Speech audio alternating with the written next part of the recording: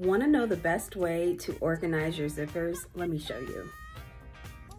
Grab some binder clips and clip three or four zippers to the binder clip and put it on one of the hooks on your thread rack, just like this.